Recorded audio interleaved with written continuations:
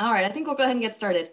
Um, so good afternoon, everyone, or good morning if you're not on the East Coast. Um, I know we're straddling time zones here. Welcome to this virtual information session on the American Foreign Service Association's National High School Essay Contest.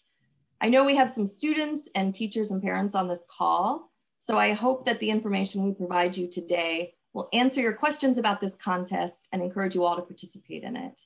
Um, while you're all in listen mode uh, throughout, please feel free to uh, share any questions. So this is an opportunity to ask questions you might have. We will present some frequently asked questions, but please chime in with any that come up at any point.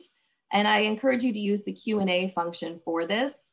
Um, and if you see a question in the Q&A that someone else has posed that you think is really important to you, feel free to um, bump it up with a thumbs up uh, and that will let us know that it, it's of interest to you. Uh, I'm Megan Chabalowski, and I'm a program officer with the public education team at the U.S. Institute of Peace, uh, where I lead our work with American K-12 schools. Uh, the U.S. Institute of Peace is a national, nonpartisan independent institute founded by Congress and dedicated to the proposition that a world without violent conflict is possible, practical, and essential for US and national security. So we partner with the American Foreign Service Association, or AFSA, as you'll hear us say, uh, on the annual uh, National High School Essay Contest. So this contest is a really important part of our outreach to schools as it engages high school students in learning and writing about issues of peace and conflict encouraging appreciation for diplomacy's role in building partnerships that can advance peace building and protect national security. So I'd like to present my, or uh, I'd like to introduce my co-presenter today, Theo Horn of AFSA. And then Theo, do you want to introduce yourself and then jump right into an overview of the contest? Well, certainly, that sounds great. Great. Well, uh, thank you, Megan, for the introduction. My, as, as you mentioned, my name is uh, Theo Horn and I am the Awards and Scholarships Manager at the American Foreign Service Association, or AFSA. Uh, AFSA is the professional association and labor union for the United States Foreign Service. That is to say, all the diplomats that work at the US State Department, uh, US, US Agency for International Development, as well as uh, a few other smaller foreign affairs agencies within the US government. Uh, part of AFSA's role is to uh, foster, or part of our goals, I should say, rather, is to uh, increase understanding among the American people of the vital role that uh, the US Foreign Service and diplomats play in keeping America strong and encouraging strong US global leadership. To that end, we have the National High School Essay Contest. For the past 23 years, AFSA has been offering the essay contest as a means to uh, raise awareness about the Foreign Service, US foreign policy, international policy, and just uh, peace building as a whole. Uh, over the years, we've picked up a lot of great partners, including, of course, the US Institute of Peace, uh, the semester, semester at Sea, and the National Student Leadership Conference. All of these organizations work together with AFSA to provide a lot of great support with administering the contest, uh, assets for students to use as they're considering the essay and the prompt, as well as uh, some really engaging experiences that we can uh, offer to our winners of the contest every year. This year specifically, the uh, high school essay contest tasked students to write a short 1,000 to 1,250 word essay on what characteristics lead to a successful effort by diplomats and peace builders to mediate and prevent violent conflicts around the world. We hope that this uh, allows students to gain a more nuanced understanding of the, of the Foreign Service, diplomats, what they do, how they do it, and this great success that these efforts bring all around the world. Uh, every year, AFSA receives hundreds of submissions from students across the United States. Just to use last year as an example, we were lucky enough to receive around 450 submissions from students scattered across, I believe, 36 different states and even a few US territories. So competition can get quite fierce, we'll say. Uh, the winner of the essay contest will receive a $2,500 cash prize in addition to an all expense paid trip to Washington, D.C., where they will have a reception in their honor, uh, meet with State Department leadership, as well as tour the city. This is, of course, in addition to an all expense paid educational voyage courtesy of Semester at Sea, which they can use as a wonderful study abroad experience when they uh, get to college. The uh, runner up of the contest receives a $1,250 cash prize, along with a full tuition to attend a summer program of the National Student Leadership Conference's International Diplomacy Program, also taking place in Washington, D.C. Uh, we have a lot of great stuff to talk about today. We are hoping we get a lot of great questions about the contest, the prompts, and this can just be another resource that you use going forward as you start to think about your essay and uh, think about what you want to write about. I'll probably, I think I'll kick it back over to Megan right now, who's going to talk about uh, USIP's study guide, which is probably one of the greatest assets that we have available this year. Uh, USIP has put together this wonderful study guide that provides students with an excellent foundation on where to start with their essay, uh, how to attack it, some good examples, a list of great resources. So without further ado, I'll kick things back over to Megan. Thank you, Theo. Um, so I wanted to just share with you all where you can find the study guide and a little bit about what's in it to tell you kind of more about how we're, we wanna help you approach this topic. So I'm gonna share my screen here real quick and um, show you online. So you can find the study guide both on our website, on USIP's website for our essay contest page, and on AFSA's website as well for the essay contest page, right, Theo? I think I remember seeing it on there. That's um, correct, yes. AFSA.org slash essay contest. have all you need. Awesome. Great. Uh, so you can see it here on the right, and then you just download it. And I wanted to tell you a little bit about what you'll find in here if you haven't already had a chance to look at it. So as Theo said, we developed this study guide in partnership with AFSA um, to provide students with a basic introduction to the topic and some additional context that you can use in answering the question. I'm just making sure that everything's working. Great, thank you, so for dropping those, those links in, awesome. Um, but just a reminder, you are being tasked with developing your own uh, unique research. So this guide is really just a starting point to that research. Um, in the guide, you'll find an essay, uh, you'll find the essay question, uh, prizes and rules for the contest, an introduction to diplomacy and peace building, key terms, examples of peace building initiatives, and a list of other useful resources. So I wanted to just show you a little bit of, of what you'll find in here. So this is what it looks like. Um, you'll find things like uh, learning that diplomacy uh, is put into practice by those who work at embassies abroad. So this is a great place to come for to a basic understanding of what diplomacy is and what it means to be a foreign service officer. Um, so you'll learn about FSOs. Uh, it's a professional career track.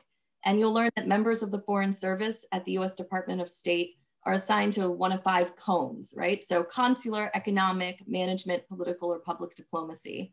So you'll want to dig more deeply into these roles as part of your research uh, to show and demonstrate your understanding of what a foreign service officer does. But it's also a really great place to start for an introduction to the field of peace building. So later in the study guide, uh, you'll find, um, you'll learn that peace building initiatives seek to prevent conflict from becoming violent um, or to end it when it does and to transform relationships and governance structures to address the root causes of conflict and promote positive change. So for those who have never heard of peace building or peace building initiatives, this is a great place to start. Um, it'll tell you that peace building involves many actors and takes places at lots of different levels. So you'll see this tool on, on the right, um, which talks about peace building from the top down and the bottom up and tells you about the levels that peace building takes place at and the corresponding actors and approaches. So you'll wanna dig more deeply into these also as part of your research. Um, then you'll finally find examples of some peace building initiatives. So if you've never really thought about what a peace building initiative is, um, we've provided a few examples here um, and they have articles that you can read for, for more uh, information and some reflection questions that you can um, use to deepen your understanding and to make some connections. So we really want to encourage you to think very creatively when selecting your peace building initiative. Um, and so we hope that this study guide will give you some new ideas, things that maybe you haven't heard of before. So that's the study guide. And I wanted to just close out with a quote from uh, a colleague of ours um, at the US Institute of Peace. And I'm gonna stop sharing this and start sharing the slides again real fast. So bear with me while I switch over. And I think this quote um, really uh, speaks to why it's important to look at how diplomats work with peace builders at the top level, so at, with the government, but also all the way down to the grassroots with citizens. So thinking creatively about peace building initiatives. So this is from um, our USIP Board of Directors Vice Chair Ambassador George Moose, who is a, a retired um, career diplomat. And he says, much of my diplomatic career was consumed with issues of conflict and conflict resolution. I therefore know and value the critical role diplomats so often play in seeking to prevent or resolve violent conflicts. But I also understand that diplomatic efforts that focus largely on political or military elites, so people at the top, are not sufficient in themselves to create the conditions for sustainable peace. They must be complemented by grassroots efforts designed to involve citizens and communities in building peace and resilience. So um, USIP's experience and research demonstrates that prospects for lasting peace are enhanced by strategies that intentionally incorporate top-down and bottom-up approaches. So um, I use this quote to inspire you as you launch into thinking about what you wanna research for this contest um, and to think about all the different resources you can find. So that's um, our introduction to the contest and the study guide. And we're now just gonna um, turn to some questions. And we'd love for you to start sending some questions you have to us. You can use the Q&A function. Um, if that's confusing, you can drop it in the chat box, that's fine. Um, we do have a few frequently asked questions that um, we thought we could launch into as well. So uh, I guess I should have stopped sharing. I'm gonna share again and pull those up. Um, and then uh, please do contribute your questions as we go through ours. So these are things that we hear a lot. Um, all right, the first question, Theo, I'm going to turn to you for this. So, what will my essay be judged on, and what are the judges looking for? Sure. So, your essay is going to be charged on the first and foremost on the quality of your analysis, uh, the quality of your research, uh, you know, how many how many sources you use, what inferences are you getting from those sources, things like that. And finally, just on you know miscellaneous grammar, things of that nature, mechanics, uh, and just your general style. Those uh, count for about 100 points total, uh, quality of analysis being, I believe, 60 points, uh, quality of sources being 30, and the other 10 being uh, your style and mechanics. Uh, judges are looking for a, first and foremost, how well you answer the prompt. do you take a situation where a, a successful peace building effort took place, break it down, talk about what characteristics were common throughout all stages, uh, other uh, interagency within the United States, uh, actors in the host country, as well as you know uh, maybe non-governmental organizations, things like that. Really, just take a, a bird's eye view of the situation and pick out the things that work, the characteristics that worked throughout that. That's what our judges are going to be focusing on this year. Theo, can you say something about what they're looking for um, in reference to foreign service officers? So I know that's something each year that's part of the prompt um, and that sometimes a little hit and miss. So maybe you could say, say more about what kind of understanding about the foreign service judges are looking for. Sure, sure. Well, as as the American Foreign Service Association, as you might expect, we were, particularly sensitive about uh, foreign service officers and making sure that they're mentioned in the essay, as they're the ones that are on the ground. They're the practitioners that are working on a lot of these issues. Uh, you need to at least be mentioning foreign service officers. You need to mention them by name in a lot of cases, hopefully. Uh, we just want to be sure that you understand what a Foreign Service officer is. Uh, I'll point back to the study guide Megan shared, uh, showing an understanding of the different cones that a Foreign Service officer is in would be a great example of showing us that you really did your research, you understand what a Foreign Service officer is, why they're there, and uh, just that they are part of a larger or organization, that they work with other Foreign Service officers and uh, people that are employed by the State Department to tackle all these problems that they're that you know that you know that both the foreign service officer and the larger foreign service apparatus you understand both is what i would say is quite important to us. That's really helpful theo. Thank you. Um, the next question that we hear uh, a lot is why should i or why should my students write this essay why should we do this contest Theo, maybe I'll turn to you to kick us off, and then I have a, a couple thoughts as well. Please. For me, it's really two two major things uh, about why this essay is important. Uh, the first being it gives you a a nuanced understanding of a career that a lot of people don't hear about. Uh, I mean, you you read the news every morning and you see these various international deals, trade deals, uh, peace treaties, things like that, and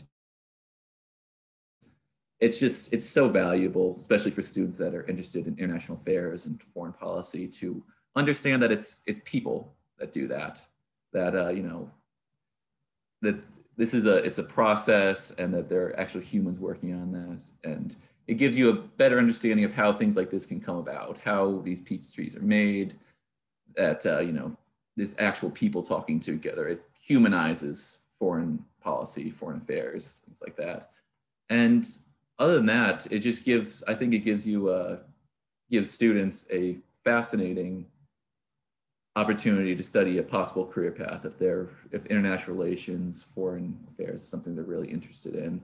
Um, I know I had no idea what the Foreign Service was when I was in high school. And to be able to take an abstract concept like international affairs or international relations and really be able to understand the career that people that are really passionate about this take is just super valuable as you're trying to figure out your career in the future and your options for that going forward. Yeah, thank you, Theo. I, I mean, I, I think this idea of, of this is an opportunity to learn about things we don't usually learn about is, is a great point. And um, from my perspective, we, we learn a lot about conflict in school. Uh, we learn about conflict in life, but we don't learn as much about peace. And so this is a really nice opportunity to, um, to, to, to learn about a historical or even um, recent event, um, but through the lens of people working to resolve it. So you're, you're gaining new knowledge, um, new content knowledge, and even and peace building skills like conflict analysis. I mean, doing this essay will be a great practice of conflict analysis. Um, but then you're also being reminded there are people working for peace in all the places that you see in the news for conflict. Um, and so it's a really nice way to uh, draw to the fore these stories that you don't ever usually get a chance to see or learn about. Um, and so it's a nice opportunity for that as well. Plus the prizes are awesome and really cool. And I wish I could do them. So that's a good reason to do it too, is to try to get these prizes. Um, all right, so the next question we see often is where can I find helpful resources? So um, Theo, maybe I'll turn to you. Well, first and foremost, I would say start with the study guide. That's going to be, like I said, your foundational document for when you just coming out today, you just see the essay contest mentioned on the website, go check out the study guide, uh, read through that. It'll really set you up and let you know what kind of resources you should be looking for. Uh, but even in addition to that, the AFSA website has a lot of useful resources. Uh, we have AFSA produces a foreign service journal that has firsthand accounts by written by foreign service officers dating back 100 years of conf, of what they've done in their job, various uh, conflicts and peace building efforts, trade deals, things like that. That's a really good resource for you to sort of get acquainted with some of these conflicts and how how they were resolved. Uh, we also, AFSA also produces Inside a US Embassy, which, uh, like the study guide, will give you a very, very in depth look of the day to day goings on in a US Embassy abroad. It goes through all different cones uh, from, you know, entry level to, you know, top ambassadors, just what they do in a day, what their schedule looks like, how how they view things, and it's just a really good uh, source, especially for characteristics, because you will see a lot of common threads as you read through the book between all these different people across various specialties and uh, levels of experience.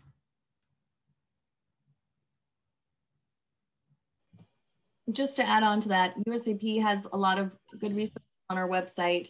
Um, if you're looking at a particular uh, place, you know, come and to our website and see, get more information on Afghanistan or Iraq or Sudan or South Sudan um, there's a, we're a good place to start as well. And then as you um, identify your scenario um, and you begin to look at all of the actors involved, um, consider looking at their websites too. I mean, I know the United Nations has a lot of great resources, especially if you look at the UN, United Nations Peace Building uh, Department or the United Nations Development Program. Um, those are great places to go.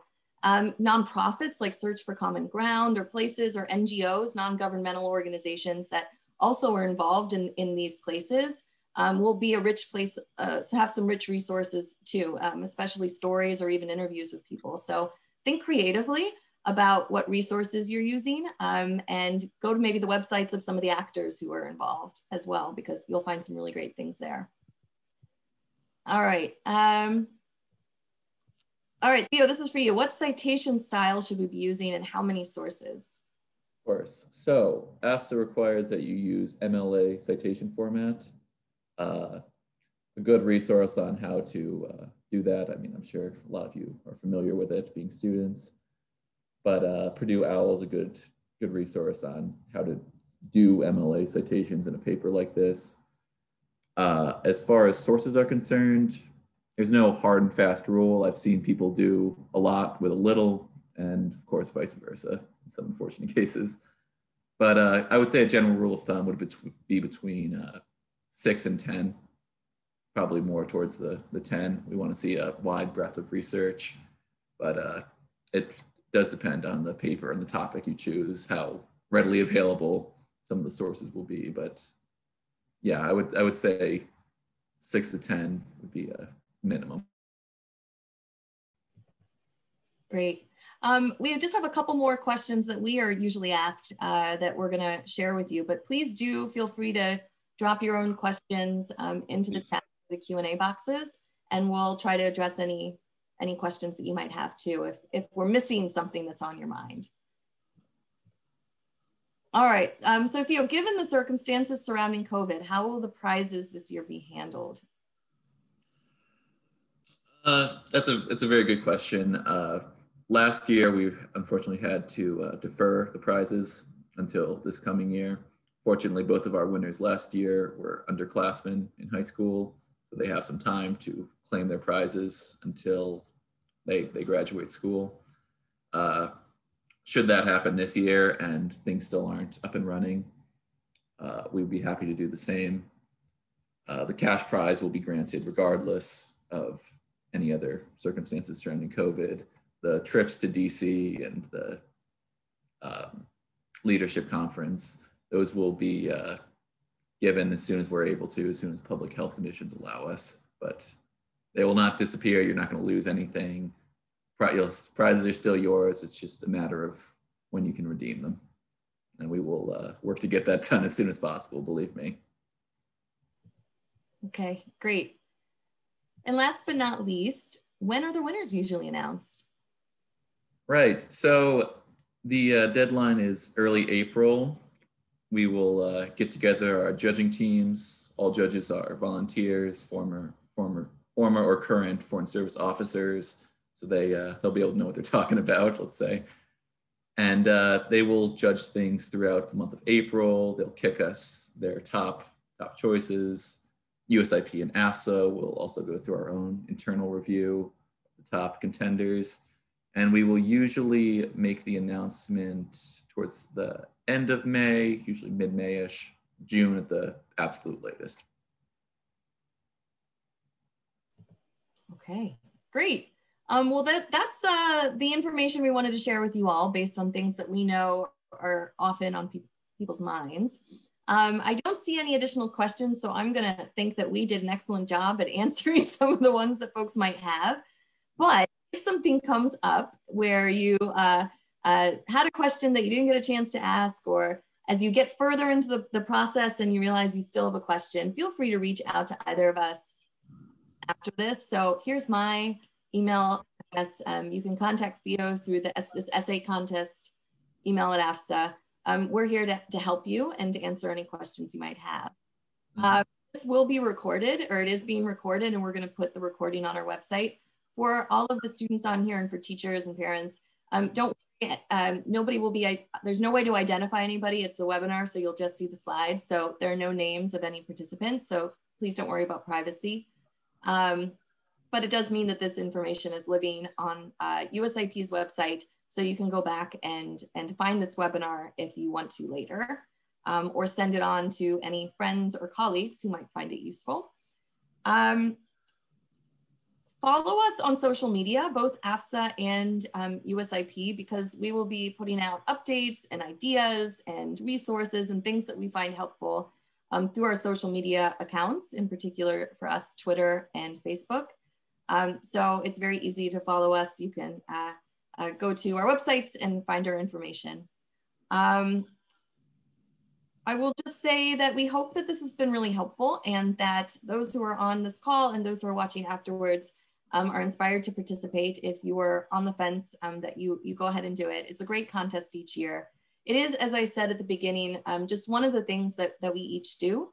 So if you'd like to learn more about our resources for schools, um, you can go to USIP's public education page, um, where we have a lot of additional resources for teachers, for students, and for schools more broadly, including curriculum, um, additional student contests, uh, webinars for educators, um, so you can find a lot, uh, some more information there. And AFSA, of course, has uh, some other things that they offer as well. Theo, is there anything in particular you wanted to say about that? Yeah, before I say that, I noticed we got a question in the chat here real fast. Oh, great. Happy to answer that. Uh, yeah. Someone asked, could we reiterate how many students participate each year? It fluctuates. Usually we get about, last year as the example, we got uh, about 450 essay submissions. Um, of those, about usually half to two thirds qualify. So looking at probably around two to 300 qualifying essays that are judged every year. Great. Thanks, Brian. Oh, thanks. And uh, you'll see in the chat that uh, Yusuf, my colleague Yusuf has dropped our Twitter handles in there. Great. So you can find us at, at those Twitter handles, which is great. All right. Um, maybe we'll, we've got exactly one minute left and um, feel free to drop, if there are any final questions, feel free to drop them in. And otherwise, Theo, I'll turn to you in case there's anything more you want to say about AFSA's resources. Yeah, I would just like to uh, thank everyone for coming. Uh, we appreciate you taking interest in the essay contest and hope that uh, even if you don't participate, this inspires you to learn a bit more about AFSA and the Foreign Service as a whole. Uh, feel free to email me if you have any specific questions and check out afsa.org, uh, the student section for a lot more uh, educational resources. AFSA has a speakers bureau that we like to uh, send diplomats and other foreign service professionals to schools to speak on they do for a living or even specific countries or regions of the world that people are interested in learning about. Um, other than that, the FSJ is a great resource if you're really looking to drill into the, the world of the foreign service. And other than that, wish you the best of luck in the contest. Thank you, Theo. Thanks for joining me today. And thank you to all of you who've joined. And as Theo said, good luck. We wish you well.